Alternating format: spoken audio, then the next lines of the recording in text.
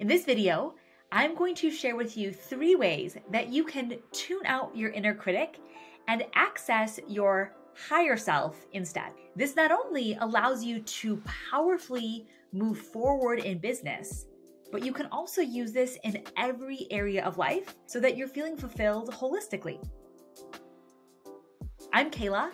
I am the co founder of Rise Leadership Circle, where our mission is to expand you into new levels of owning your personal power, value, and worth so that you can live a rich and prosperous life with a business that comes along for the ride. So let's get into it, talking about three ways to tune out your inner critic and instead access your higher self. So, the first way is to start your day by focusing and nourishing on your higher self. This is kind of putting the cart before the horse. It is starting with our higher self instead of trying to come from a deficit of seeing that our inner critic has already taken center stage. It's giving our higher self the microphone and the spotlight right away from go. And when we do this, what happens is that rather than trying to recover from already feeling taken out by our inner critic, we start feeling nourished and fulfilled and letting our higher self know that we're really listening to what it has to say. There's a parable that you might have heard about a grandfather sharing with his grandson the story of two wolves. And to shorten the story, the grandson says, Well, which wolf wins? And the grandfather says, Whichever wolf you feed. And the same is true here. If we are feeding our inner critic by giving it lots of attention, letting it know that it's center stage all of the time, it's going to consistently take up more space. But if we start our day and then carry on with the momentum of already having our higher self be the one that is front and center, we can really get further faster because we're not trying to overcompensate from being taken out by the inner critic. And this is something that we do every day. I want to invite you to think about how can you nourish your higher self instead of your inner critic from go? Let's start with as early as the self talk the moment that you're waking up. When your alarm goes off or the first time that your eyes start to open, what are the first thoughts that you hear yourself saying? Is it your inner critic chiming in and saying, you better get up, you're gonna get late? Is it your inner critic saying things like, you didn't get good sleep, you're gonna be tired all day? Is it your inner critic already being in fear or anxiety about today, about scarcity, about how you're not enough? Or is it your higher self? Inviting you into a space of abundance and opportunity and possibility. So, whether you are someone that jumps up with your alarm clock right away in the morning or likes a leisurely morning, we can use either to really let ourselves start nourishing our higher self right away from go. And I just want to speak into that. One of my good friends, she says that the most important thing that we can do is never hit snooze. That when our alarm clock goes off, we jump up and start the day right away. Now, that might totally work for her. Me personally, I don't use an alarm clock at all. I like to instead allow myself to go to bed early enough that I know that my body can get as much sleep as it wants and I still can have a really spacious morning. And so when I start to wake up in the day, I have time, I have space that I can get up right away if I want. I can lay in bed and meditate, I can fall back asleep. And in those very first moments of early thoughts, and this doesn't matter if your alarm clock goes off and your feet hit the floor and you're already running, or if you're more like me and you have a lot of space in your morning, it doesn't matter. But either way, what are the first thoughts that you're thinking the moment that you start to wake up. Notice if you are feeding your higher self by letting that be the voice that you listen to from go, or if you are listening to your inner critic early in the morning. So it's right away when you get out of bed, and then the first thoughts that you have in the first couple moments of the day. Those first few minutes of the day, where does your mind go? Are you already starting into a space of anxiety and racing into all of what's on your schedule, into what didn't happen yesterday, into the scarcity, into the laundry list of things to do, into the worry? Or are you taking some time to connect with you, your higher self, your higher power, and having space to be open to any information that you might receive?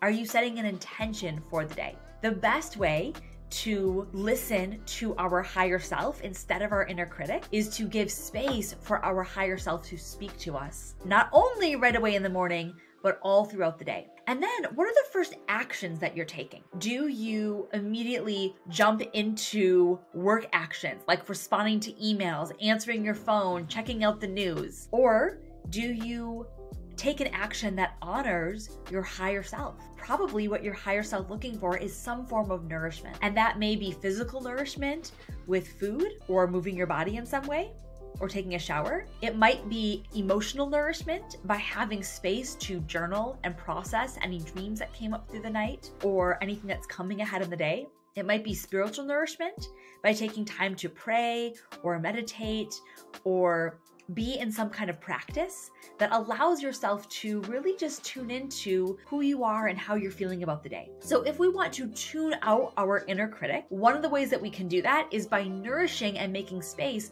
for our higher self to take center stage. And check in if you're feeding into a lot of scarcity or not enoughness, or if you are thinking about all of the ways that you really can let yourself be in a space of abundance for what is here present for you in the now moment. Are you starting your day in abundance?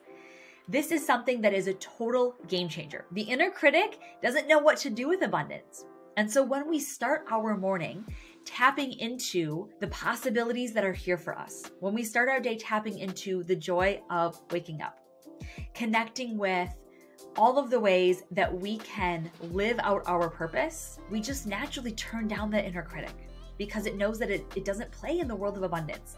And so it just naturally moves itself to, to the back seat. Our inner critic is loud if it knows that it has the mic. And so if we don't want our inner critic to be loud, one thing that we can do is give our higher self the microphone. Put the spotlight on our higher self, give it the microphone, and let our higher self know that it really is in the driver's seat. I'm going to talk more about that in point number two. I do have a free resource for you that I think will be supportive for you in this. I have three phone backgrounds that I absolutely love. They're called Inner Wisdom Wallpapers that I'm going to gift you access to for free that you can put on the back of your phone, choose one that speaks to you, and rotate them out every couple of days or weeks when you start to forget to really tune in. So every couple days or weeks, when you realize that you're not quite paying attention to what's on your wallpaper, that's the time when you know that you want to go ahead and change it up. And what this does is it creates a support structure that every time you pick up your phone and you look at it, you are having your higher self respond to whatever you're going to see next. So whatever messages you see, what whatever time it is that you see, whatever emails or social media that you read, when you have a phone wallpaper that is reminding you to tap into your inner wisdom and your higher self, it acts as a support structure so that you can be nourishing and choosing to come from your higher self rather than your inner critic. So you can go ahead into the link and grab that free resource. Go ahead, download those and put those on your phone and use that as a support structure for yourself. Okay, so let's talk about the second way that you can tune out your inner critic and instead access your higher self. It's by acknowledge what your inner critic is saying without accommodating it. I have a really fun analogy for you. So imagine that your inner critic is like a child in the back seat of a car that is asking for directions, worrying if we miss the turn, wondering how much longer till we get there, asking us to explain what's happening with our driving. But only the child doesn't know how to read a map or, or a GPS, doesn't know how to drive the car, doesn't know where we are because this is uncharted territory, a place that we've never been to yet. And a higher self is the adult that's driving the car. So this is really what happened. It's like our inner critic is the child in the back seat that's saying things like, Whoa, didn't we miss our turn? Or aren't we supposed to press that button on the steering wheel now? Or do we need to press faster on the brake? And we're the higher self up front that can lightly chuckle to ourselves and say, Thank you so much for reminding me, or Thank you for asking that. So we can acknowledge to our inner critic, Got it, heard you, thanks so much but we do not need to accommodate it. If we were the adult driving the car, we wouldn't pull over and try to teach a child that's maybe just learning to talk how to drive a car. Instead, we would just acknowledge the child. We would say, Oh, got it. Thank you. thanks for asking that. Or I love how attentive you're being. And we would continue to stay in the driver's seat. This is what we want to do with our higher self. So the higher self can say, Oh, inner critic, hi, thanks for tuning in. Got it? Hear you. And we can continue to remember that as the higher self, we know where we're headed. We know how to drive the car and we know where we are going. So by acknowledging the inner critic, not just shoving it down or trying to have it be quiet behind the scenes, if we just try to shove the inner critic down, it's just going to get louder. Think about the child in the back seat. If if we pretend like we can't hear it, it's just going to get louder and louder until there's a tantrum until it's like, stop, I need to say something, right? A child will continue to get louder until it knows that it's being acknowledged. And our inner critic is no different. So we can acknowledge it, but we don't have to accommodate for it. We do not have to pull over our life or our business or our goals to try and slow down and explain things to the inner critic that are simply outside of our inner critic scope. We do not have to accommodate our inner critic. When we acknowledge inner critic, got it, Thank you for sharing. We can create a neutral space. And in that space of neutrality, then we can take a powerful action, keeping our higher self in the driver's seat.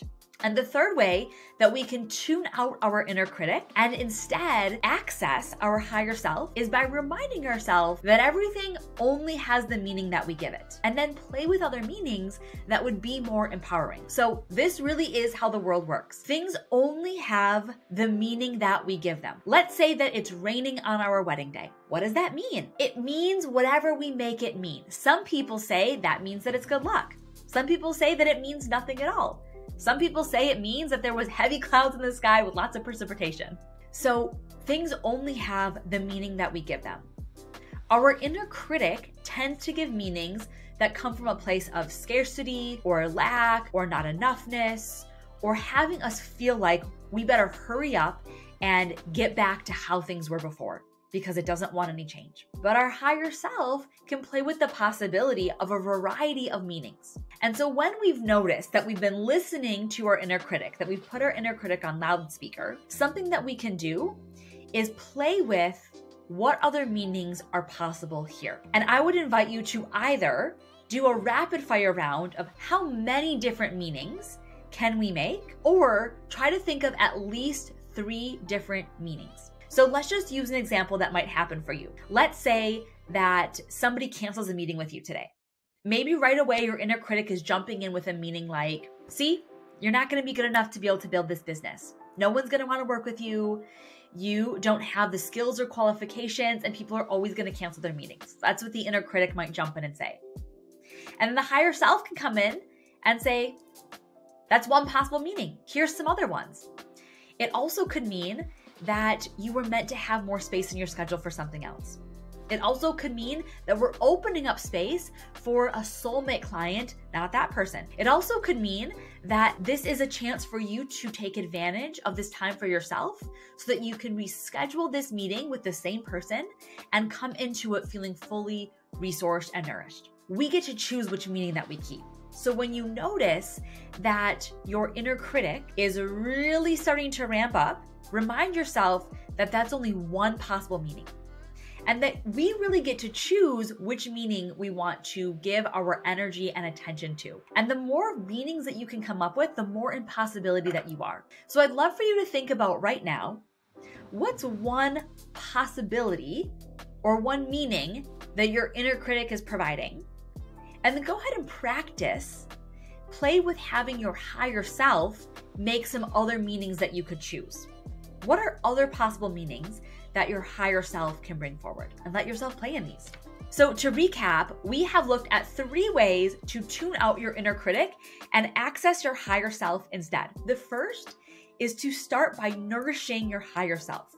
Start every day and then continue throughout the day to nourish your higher self. The second is to acknowledge what your inner critic is offering without needing to accommodate for it. And the third is to remind yourself that everything only has the meaning that we give it, and we can play in possibility of other meanings and choose the one that is most empowering. If this work is supporting you, then I would love to invite you to explore and join us in our coaching community for soulful entrepreneurs and leaders who are committed to living a rich life by owning their desires with a business that comes along for the ride. In this community, through our coaching, you will be led to connect with your personal power, deepen into leadership with yourself and others, expand into every area of life, trust your intuition, empower your relationship with money and creating wealth, reset your patterns and habits around abundance, experience how money always follows joy, find ways to be deeply supported both in life and business, set accountability structures to follow through on your commitments, engage in soulful practices to elevate your business and your life, create clarity around your desires and the steps to bring them to life, take bold actions and see big results, create harmony in your relationships, align with your highest self to make empowered decisions, honor all of your emotions and use them as a roadmap to expansion, and be the fullness of who you are. So if you are a soulful, heart centered entrepreneur, who wants to build on your terms, click the link below or head to riseleadershipcircle.com to join us. Women from all industries are in our ranks and you are welcome to join us as well. And P.S., if you enjoyed this episode, be sure to share it with your friends, like and subscribe so that you don't miss anything else that we have coming up. See you next time.